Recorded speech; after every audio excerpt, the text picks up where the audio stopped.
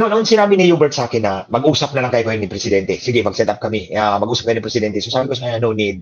Uh, ayoko na magipag-usap sa kanya. Kasi alam ko naman eh. Kaya nga nilagay ko realizing the futility of the situation eh. Because alam ko naman hindi si Bongbong nang tutupad eh. Si Lisa Marcos ang natutupad. True. si Lisa Marcos ang natutupad. In fact, oh, siya nangako sa akin, hindi si Bongbong Marcos. Siya nangako sa akin, hindi si Bongbong Marcos because I know I've worked with them for the last, yes, I worked with them for the last six years. Alam ko na kung sinong, sinong ano. Yes, si Lisa ang ko palagi. I mean, I texted Bongbong maybe in the last six years, maybe I texted Bongbong three times only.